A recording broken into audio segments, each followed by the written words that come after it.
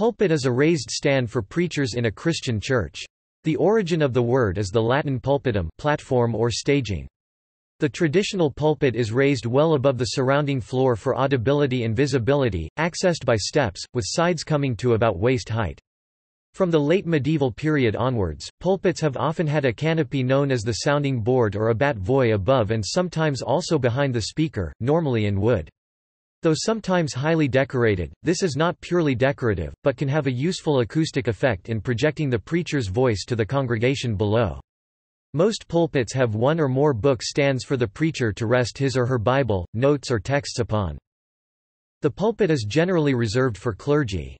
This is mandated in the regulations of the Roman Catholic Church, and several others though not always strictly observed. Even in Welsh nonconformism, this was felt appropriate, and in some chapels a second pulpit was built opposite the main one for lay exhortations, testimonials and other speeches. Many churches have a second, smaller stand called the lectern, which can be used by lay persons, and is often used for all the readings and ordinary announcements.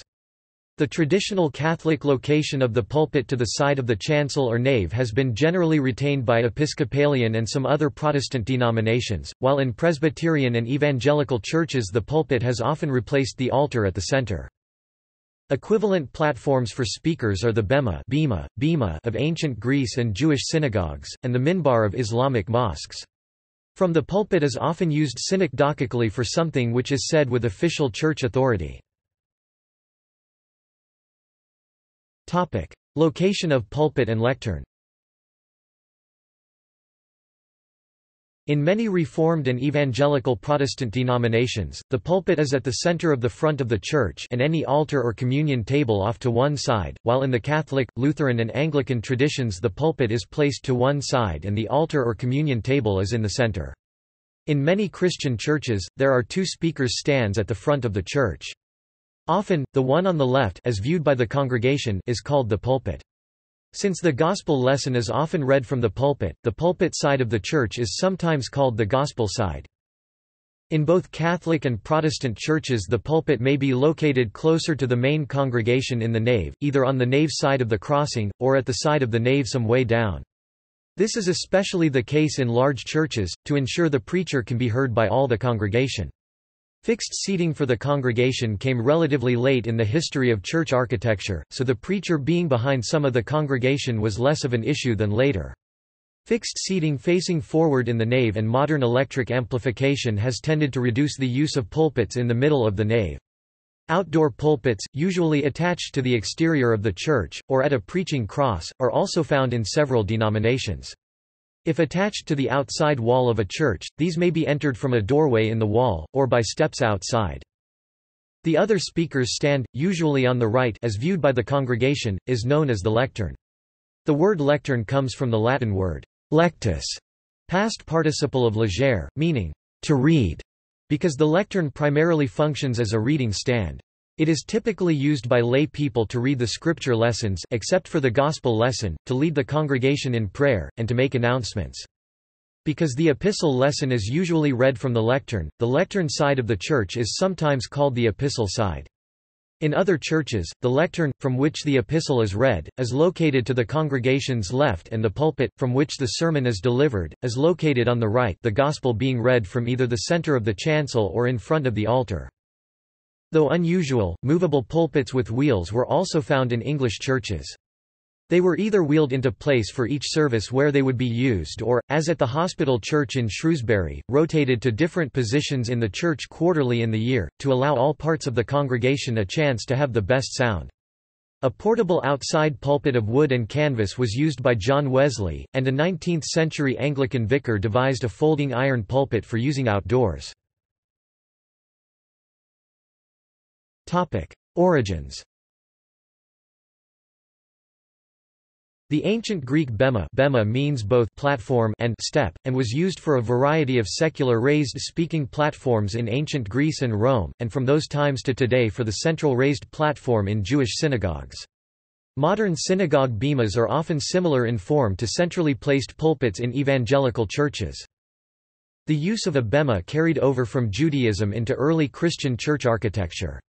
It was originally a raised platform, often large, with a lectern and seats for the clergy, from which lessons from the scriptures were read and the sermon was delivered.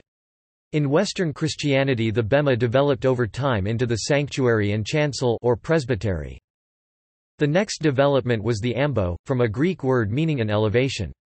This was originally a raised platform from which the epistle and gospel would be read, and was an option to be used as a preacher's platform for homilies, though there were others. Saint John Chrysostom died 407 is recorded as preaching from the ambo, but this was probably uncommon at this date. In cathedrals early bishops seem often to have preached from their chair in the apse, echoing the position of magistrates in the secular basilicas whose general form most large early churches adopted. Often there were two ambos, one to each side, one used more as a platform on which the choir sang, sometimes the gospel was read, chanted or sung from one side and the epistle from the other. The location of the ambo within the church varied, with about the same range of places as modern pulpits. In ancient Syrian churches it was often placed in the center of the nave on both axes. Gradually the ambo came to resemble the modern pulpit in both form and function, though early examples in large churches are often large enough to accommodate several people. The steps up to the pulpit almost invariably approach it from the side or behind, and are often curved. The typical design of the Islamic minbar, where a straight flight of steps leads to the front of the pulpit, is very different. The ambone of Henry II, an imperial gift of 1014 to Aachen Cathedral, was originally installed centrally, but later moved to the side. It is richly decorated with sheets of gold, ivory, and gems, probably emulating Justinian's lost pulpit of Hagia Sophia in Constantinople, of which a description by Paul the Silentiary survives. In churches where there is only one speaker's stand at the front of the church, it serves the functions of both lectern and pulpit and may be called the ambo, which is still the official Catholic term for the place the Gospel is read from. Catholicism In Roman Catholic churches, the stand used for readings and homilies is formally called the ambo. Despite its name, this structure usually more closely resembles a lectern than the ambone of the Eastern Catholic churches. The readings are typically read from an ambo in the sanctuary, and depending on the arrangement of the church, the homily may be delivered from a raised pulpit where there is one. The general instruction of the Roman Missal specifies 309. The dignity of the Word of God requires that in the Church there be a suitable place from which it may be proclaimed and toward which the attention of the faithful naturally turns during the liturgy of the Word. It is appropriate that generally this place be a stationary ambo and not simply a movable lectern. The ambo must be located in keeping with the design of each church in such a way that the ordained ministers and readers may be clearly seen and heard by the faithful. From the ambo only the readings, the responsorial psalm, and the Easter proclamation are to be proclaimed, likewise it may be used for giving the homily and for announcing the intentions of the universal prayer. The dignity of the ambo requires that only a minister of the word should stand at it. Protestantism In some Protestant churches, the pulpit is considered the most important piece of furniture in the sanctuary. It is located centrally in relation to the congregation and raised. In such churches it may be where the minister stands for most of the service. In the 18th century, double-decker and triple-decker pulpits were often introduced in English-speaking countries. The three levels of lecterns were intended to show the relative importance of the readings delivered there. The bottom tier was for community announcements, the middle was for the gospel, and the top tier was reserved for the delivery of the sermon. A good example of a three-decker pulpit is found in St Andrew's Church, Slaidburn, Lancashire. America's only surviving three-decker pulpit on the centerline of the church is at Trinity Church, Newport, Rhode Island. In many evangelical Christian churches, the pulpit stands squarely in the center of the platform, and is generally the largest piece of church furniture. This is to symbolize the proclamation of the Word of God as the central focus of the weekly service of worship. In more contemporary evangelical churches, the pulpit may be much smaller, if used at all, and is generally carried out after the end of the song service. However, it usually is placed in the center of the platform as well. Presbyterian Protestant churches Traditional Presbyterian churches in Scotland and elsewhere often had a central pulpit, that is, the pulpit was located in the centre of the chancel in the position where most churches have the communion table or altar. The table could be situated in front of the pulpit or to the side, and sometimes was not in the chancel area at all. This declares the Bible to be the foundation of the faith. Furthermore, the centrality of the Word implies that the reading and preaching of the Bible is the centerpiece of a service of worship, and thus takes priority over the sacraments. The central pulpit is intended to give visual representation of this idea. Since the late 19th century, the fashion in the Church of Scotland and most other Presbyterian denominations has been for a return to the pre Reformation layout. Thus, many buildings which once had a central pulpit now have a pulpit to the side. See for example Skene Parish Church or Old West Church, Boston, Massachusetts. This Presbyterian tradition is historically distinct from the tradition of the ambone in Eastern Christianity. Eastern Christianity In modern Eastern Christianity the area directly in front of the beautiful gates of the iconostasis from which the Gospel is typically read is called the ambone, and the entire low elevation above the level of the nave in front of the iconostasis is called the soleas. In larger churches, the ambo might be distinguished by three curved steps by which one may reach it from the nave. In addition many Orthodox churches, especially Greek-speaking churches, have pulpits for preaching from, which are similar to those in Western Christianity. In Eastern Orthodox Church cathedrals there is usually a low platform in the center of the nave called the episcopal ambo where the bishop is vested prior to the divine liturgy and where he is enthroned until the little entrance. If the bishop is serving in a simple parish church, an episcopal ambo is set temporarily in place. In addition to the ambo, many major churches in Greece and Cyprus also have a raised pulpit on the left side of the nave, usually attached to a column and raised several feet high. This is reached by a narrow flight of stairs. It is considered an architectural element that is symmetrical to the bishop's throne, which is located in an equivalent position on the right. Pulpit and throne are usually similar in construction, usually made of either sculpted stone or sculpted wood. This pulpit was used mostly for sermons and in order to improve audibility, before the advent of modern public address systems in churches. Nowadays it is used rarely. Tradition dictates that it be used for the reading of the Twelve Passion Gospels during the Matins of Holy Friday, served late in the evening of Maundy Thursday. This is done to signify that the Passion of Christ is being broadcast for all to know. In the same spirit, a phonetic transcription of the relevant Gospel passages is provided in several common languages e.g. English, French, Russian, Arabic etc., so that they may be read from this pulpit at the same time. Decoration